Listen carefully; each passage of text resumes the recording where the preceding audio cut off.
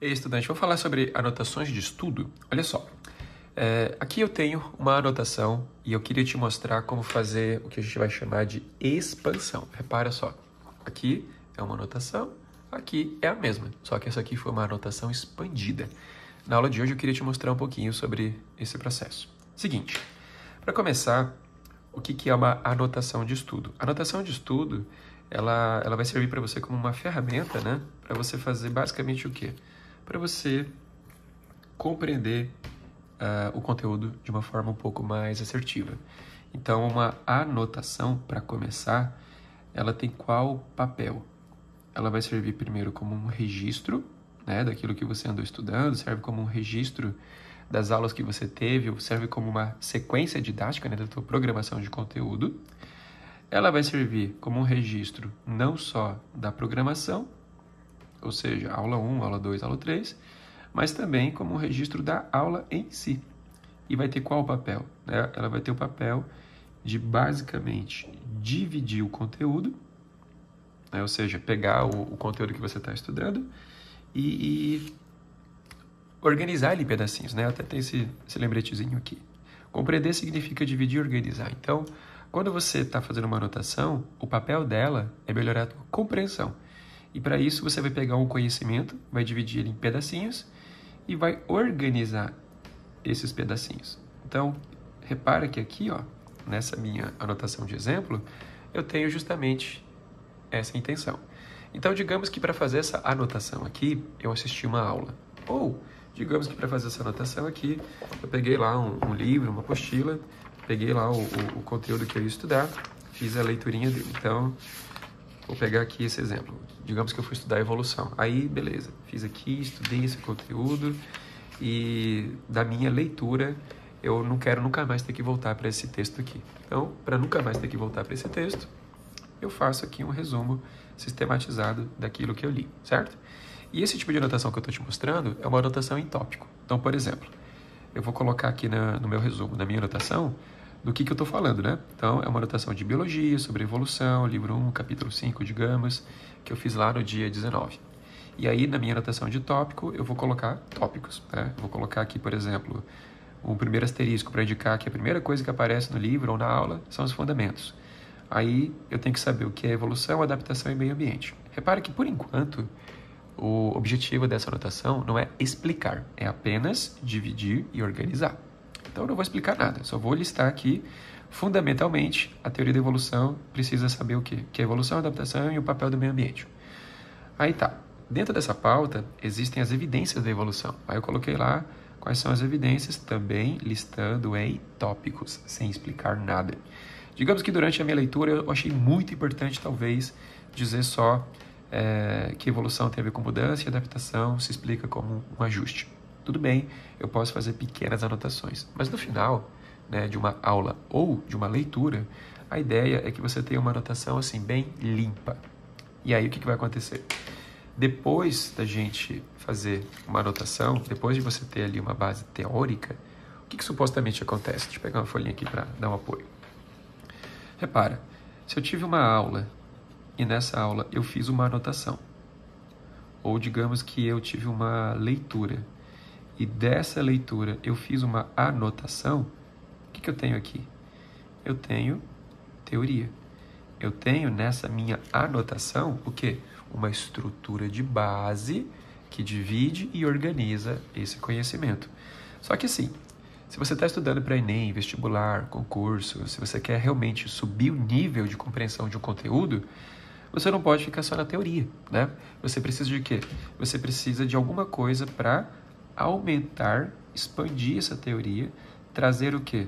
Trazer mais aplicação, trazer mais conexão. E aí é muito importante você, em algum momento, depois disso tudo, fazer a parte prática, né? Ou seja, resolver questões, fazer exercícios. E aí acontece o seguinte, ó. Digamos que eu peguei lá o meu livro e eu fiz algumas questões. Quando eu faço questões, o meu objetivo de fazer questões não é só simplesmente fazer as questões nem acertar. Meu objetivo é aprender.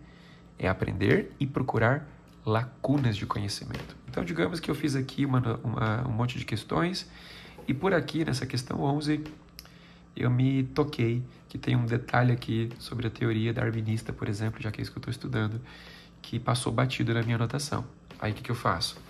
Eu pego uma caneta vermelha, então repara, anotações de base eu faço de preto ou azul, e aí esses detalhezinhos e expansões eu pego ali uma caneta vermelha e puxo alguma coisa, puxo uma nova informação. E aí, de acordo com isso, né, na medida que eu vou fazendo questões, o que, que vai acontecendo? Eu vou, repara, né, deixa eu fazer assim para parecer mais, mais mágico. Imagina que está tendo uma edição aqui de vídeo. Aí a anotação ela vai uou, expandindo, certo? Então, nesse caso, repara só. Cada vez que eu faço uma questão, eu posso trazer da questão que eu fiz uma expansão. Qual é, então, o objetivo de fazer a tarefa de casa na escola? Qual é o objetivo de fazer questões depois de estudar? É você procurar o quê? É você procurar, por meio das questões, ferramentas para você aprender, lacunas de aprendizagem, é, fixar o conhecimento, praticar a evocação e também, consequentemente, nas anotações, trazer essas expansões. Ou seja, uma expansão utilitária. Né? Então, repare que fazendo as questões, eu entendi que evolução significa mudança, que adaptação é um processo de ajuste ao ambiente em que o organismo, a espécie, sobrevive e se reproduz naquele ambiente onde ela está ajustada e tarará. Então, na medida que eu vou fazendo as questões, eu vou trazendo objetos em que eu vou expandindo. E aí eu trago exemplos, eu trago qualquer coisa e vou adicionando, vou agregando valor. Eu posso, por exemplo, pegar assim, eu peguei aqui um post-it e anotei ali o conceito basal de evolução. Talvez por quê? Porque a grande coisa dessa aula, desse conteúdo, é entender esse conceito. Então, repara, eu não vou ficar explicando todas as coisas, mas talvez esse conceito mereça uma, mereça uma expansão, mereça um post-it, mereça estar escrito. E aí isso me lembra de uma questão ali que eu fiz, alguma coisa com coevolução que eu vou explicar desse jeito. E aí, dessa forma, eu estou expandindo a minha anotação. que mais? Eu percebi, por exemplo, fazendo as questões ali, que saber algumas datas pode ser interessante. Então, eu anotei que nessa temática de evolução, Lamarck, Malthus, Darwin e Mendel são nomes uh, repetidamente falados por aqui. E cada um viveu numa época, então eu vou colocar aqui na minha anotação. Eu posso, por exemplo, também deixar algumas perguntas de que vão servir para eu pensar, para eu refletir, para eu fixar esse conteúdo.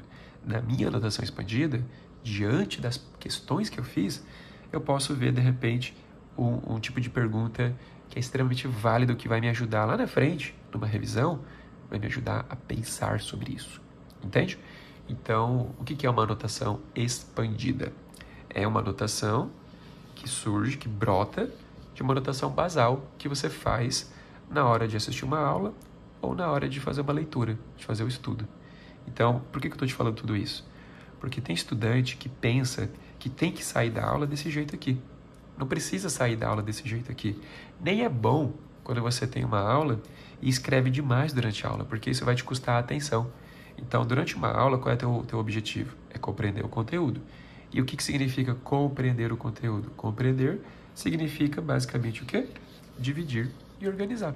Então, se eu faço isso aqui na forma de tópicos, eu estou dividindo e organizando, melhorando a minha compreensão. Uma vez feito isso, depois, quando eu faço uma leitura mais profunda e depois, quando eu resolvo questões, aí sim eu faço esse momento de agregar valor às minhas anotações. Então pensa sempre assim: toda vez que eu fizer questões, além de fazer tudo que uma questão faz, né, que é praticar a evocação, fixar conhecimento, mostrar suas lacunas de aprendizagem, testar sua compreensão, além de tudo isso, fazer questões pode servir para isso, para agregar valor. Repara, essa anotação inicial que eu tenho, ela tá boa, porque ela cumpre o papel dela de dividir e organizar. Agora, depois disso, o que, que eu fiz aqui?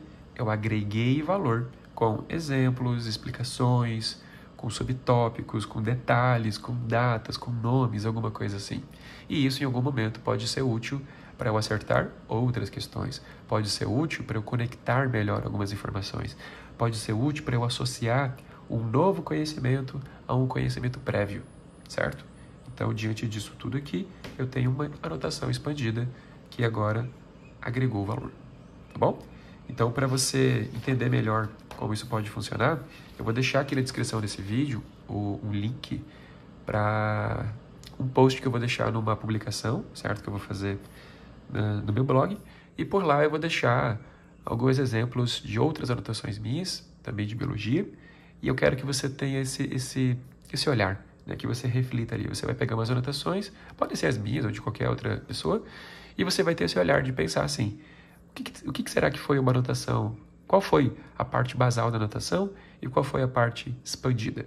Repara, toda anotação começa assim, basal, simples, né? com esse propósito de, organizar. E depois ela, digamos, expande, depois você agrega valor. Então tenta ter esse olhar nas anotações e ver o que foi expandido e o que foi a base, tá bom? Então esse aqui é um detalhezinho que eu queria deixar para você, só para você entender que as questões servem para isso, para você expandir suas anotações e agregar valor a esse processo de compreensão de um conteúdo, ok?